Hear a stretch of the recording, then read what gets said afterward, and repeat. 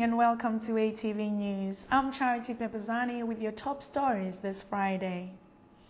In Zimbabwe, a woman has been sentenced to 10 years in prison for taking advantage of her 19 year old worker. The 54 year old woman from Fort Rixon in Matabeleland North Province apparently forced herself on the boy and was intimate with him while her husband was away working. The accused pleaded not guilty to aggravated indecent assault but was convicted by Senior Western Division Regional Magistrate Mr. Owen Tangu. Mr. Goodluck Katenaire for the state said on the night of the 18th to the 19th of January this year, the accused went into the room where the boy was sleeping. The state proved that she lifted him up and took him to a bedroom where she proceeded to undress him and eventually became intimate with him. In passing sentence, Mr. Tangu said while it is the practice of the courts to keep first time women offenders out of custody, the offense which she committed was a serious one. ATV has been following the story of the growing shortage of meal in the Chingola district of the Copper Belt in Zambia. Unfortunately, the situation has worsened, prices having doubled in the last 48 hours.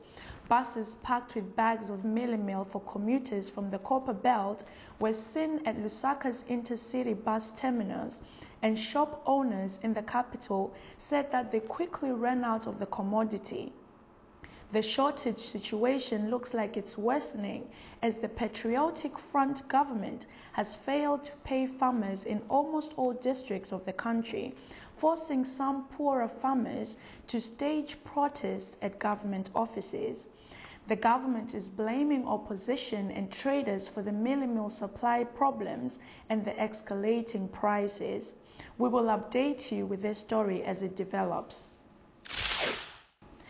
Also in Zambia, there's a relief for a woman who, after a long wait, has undergone a successful operation on her exposed intestines. 23 year old Ruth Musonda was severely bitten by her husband, resulting in damage to her intestines. The attack left her needing to use a colostomy tube to, to dispose of the waste from her stomach. But now, as the following report from Muvi TV explains, Ruth is on the road to recovery. After two months of anguish and little hope of healing, 23-year-old Ruth Musonda of Lusaka's Kanyama Township, whose intestine was cut after being severely beaten by her husband, has undergone a successful operation. Ruth looks strong and confident as she highly speaks of a quick recovery.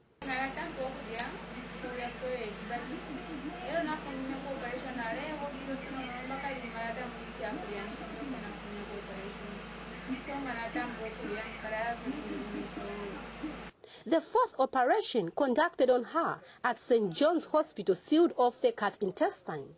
Her stomach, which had been partly open for the past two months, has been mended.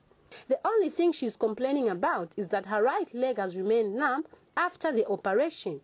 But this will not last long as she only needs to undergo physiotherapy for her to recover.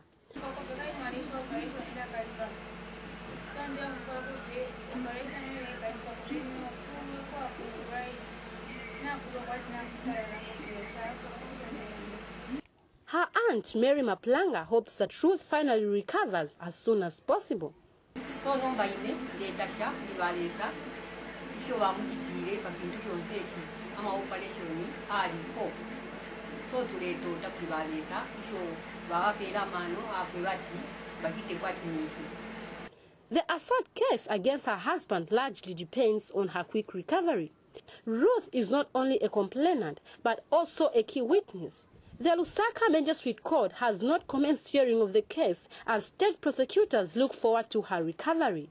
Prudence Mulenga, Muvi TV News, Lusaka. Entertainment news now, and Auma Obama is the half sister of the American President Barack Obama. She's in Zimbabwe for the International Image Film Festival for Women.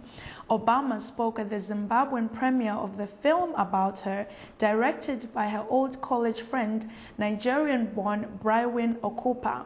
The documentary film is called The Education of Auma Obama and is receiving positive reviews. Online radio stations are on the increase, with many such stations aiming to serve up an array of African music to the wider world.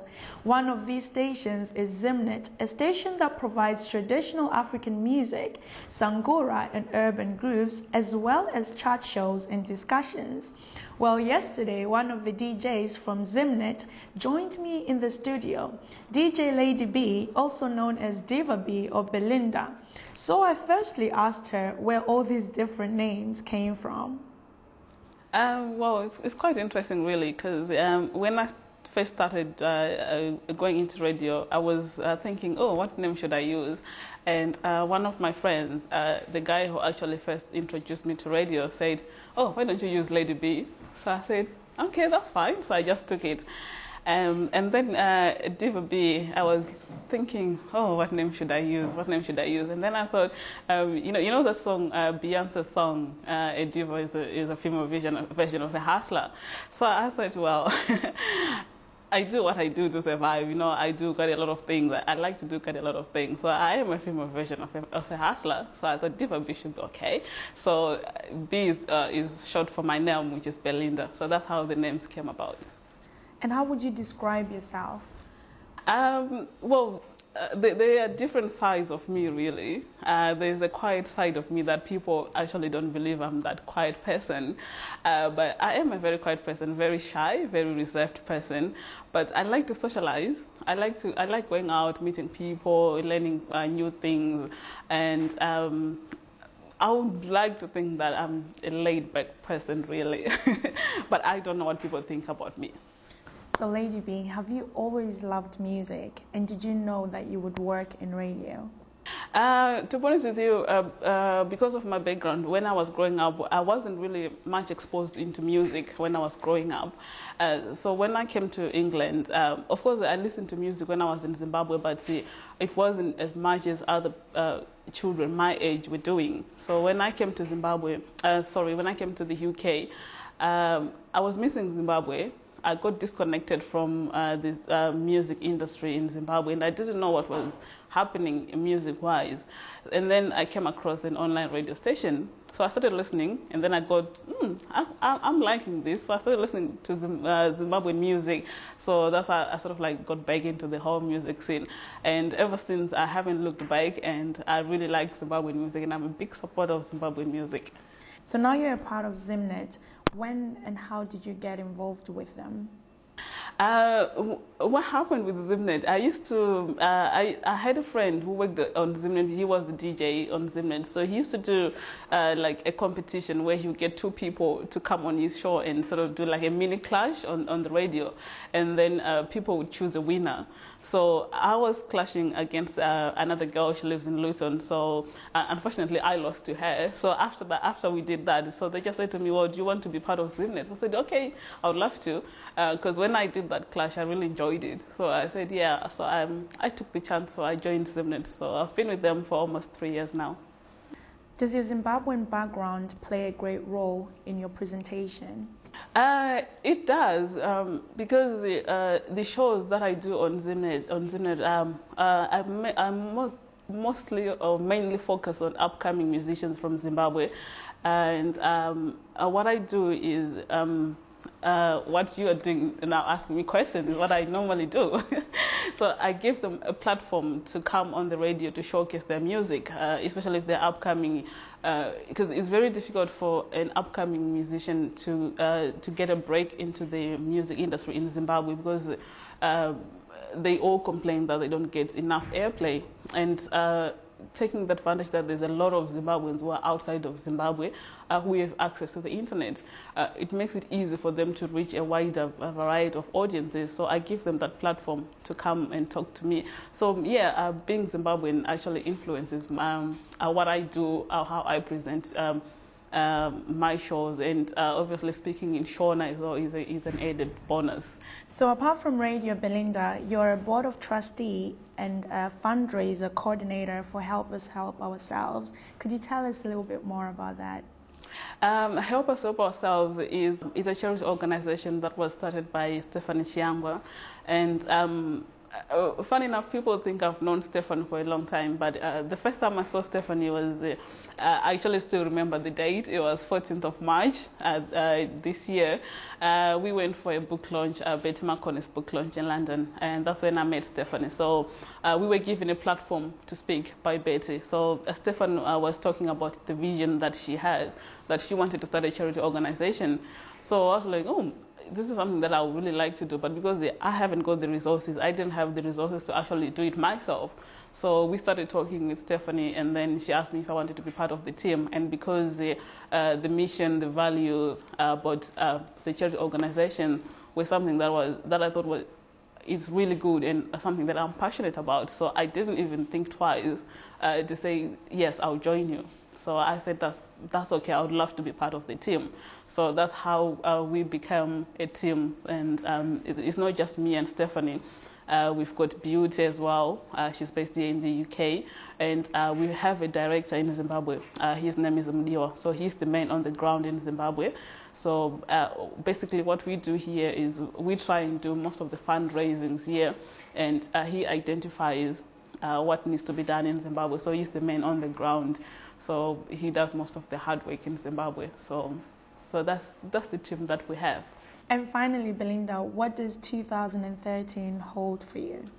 Uh, I hope it holds uh, a lot of things for me because I like. Um, uh, I'm also into. Uh, I, I, do some, some, writing. I like writing. Um, I, I, also like movies. Um, I've done one movie. It's not out yet. Uh, I hope it's going to be out anytime soon. And I've written my own scripts. I've written two scripts. So um, when we finish launching our charity, because we're launching on the first of December, and we do have some concept that we are lined up for the charity. So I hope next year I'll I'll, I'll focus on my uh, on my film side of things. I hope uh, by the end of next year I would have produced my two films that I've written, and uh, hopefully the one that I've done will be out. So that's what I hope the future hold for me, and uh, just to carry on doing the charity work that I've started doing, and uh, to grow myself as a personality, as a radio personality as well. That's what I hope I will do. Thank you very much for your time, Belinda. Thank you so much for having me. That was Lady B in the studio yesterday, but now we're crossing to Liam and Michael, who are outside Manchester United Stadium, Old Trafford, where a statue of manager Sir Alex Ferguson is being unveiled. Okay, thank you, Charity. Well, you joined myself and Michael Mambo at Old Trafford, the Theatre of Dreams, where we've just been to try and get a little sneak peek at some of the United legends who have been coming down to Old Trafford for a special unveiling of a Sir Alex Ferguson statue. Now, the unveiling comes after 26 years of Sir Alex Ferguson being in charge at Manchester United. 26 years ago, his first game at Old Trafford was against Queen's Park Rangers. So it's almost fitting that tomorrow the Red Devils take on that QPR side at Old Trafford. Now, it's good news for one manager today, Mike, but as we've just heard, QPR manager Mark Hughes has been sacked today. Your quick reaction to that, please. Well, it's, it's a tough time for managers. If you're not producing the results, you find your way out. What about Sir Alex Ferguson then? 26 years in the game. Is there a better manager ever? I don't think there is a better manager and there will ever be a better manager. For instance, everything's changed. It's now more of a results-based business and more people are pumping in money into the game the more the pressure is on managers. No person would want to go 26 years with that intense pressure on him. He is something of a one-off and he, he seems to be carrying on just as much as he was 26 years ago. His side are having to recover from a 1-0 loss at Norwich last week. Surely they're going to pump a few goals past QPR tomorrow.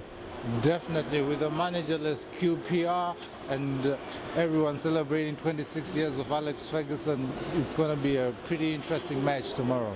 Okay, I'm going to go for 4 0 on this one. I think the uh, Red Devils team are going to really support their manager on his special day. What about you? I'm going to go for 3 0 on this one. Okay, 3 0. Right, well, we better talk about some other games. We are here at Old Trafford, but of course, there are some other games going on in the Barclays Premier League. Michael, what about your side, Arsenal? They travel to Aston Villa. Uh, well, they, they, follow a 5-2 thrashing of Spurs last week, and they won 2-0 in the Champions League. It's a good time for Arsenal. Do you expect them to carry on that form against Aston Villa?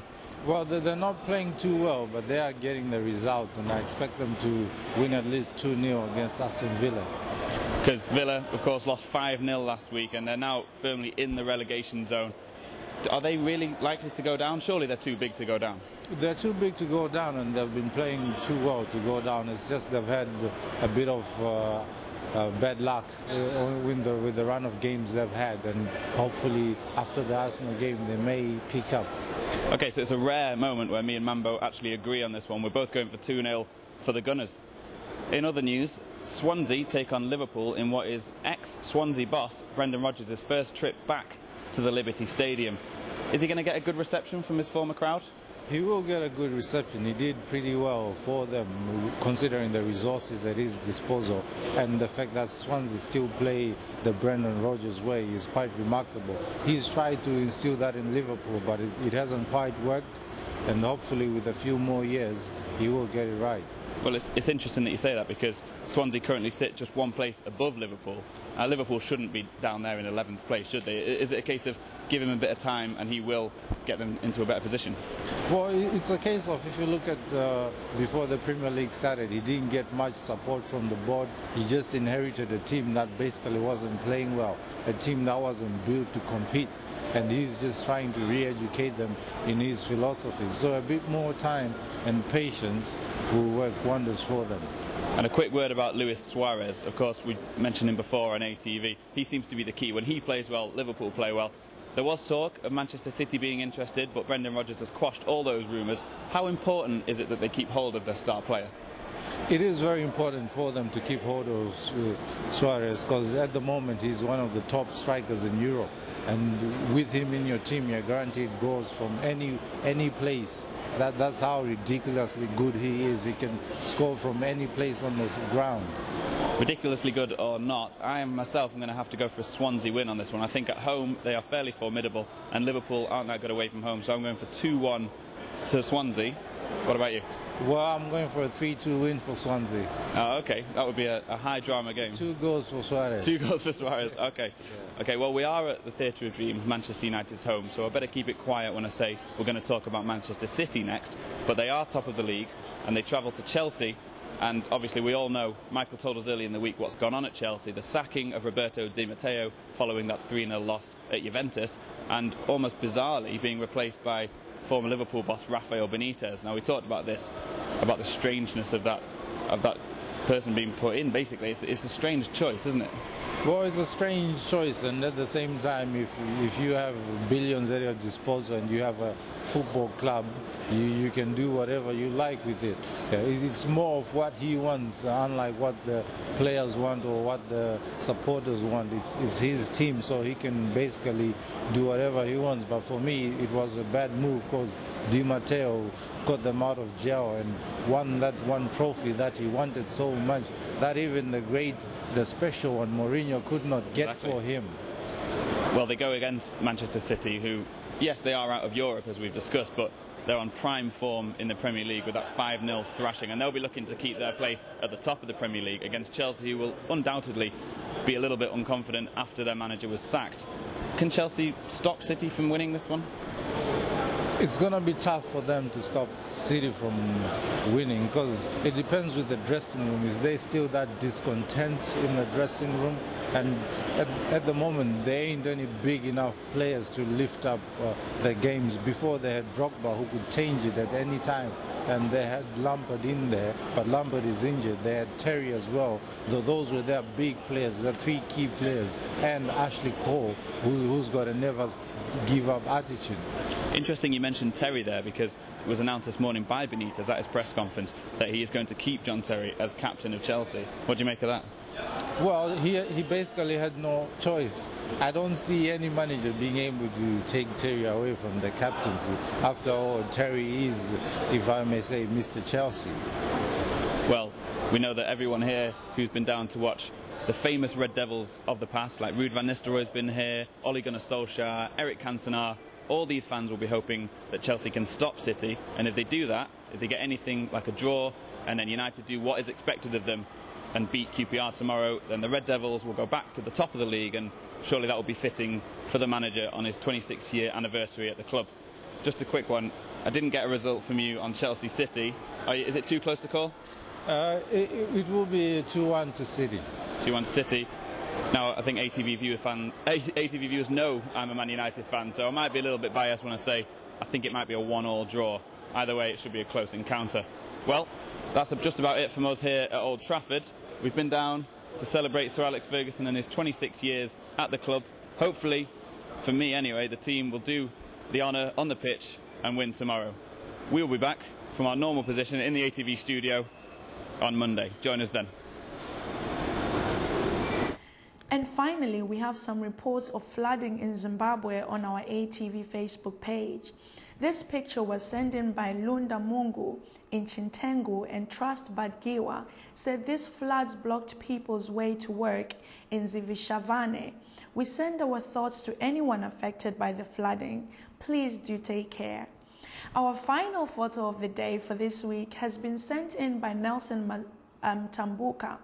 Keep your photos coming to us if you want to win photo of the day for next week. Thanks for joining us on ATV. Have a pleasant weekend and we will see you on Monday.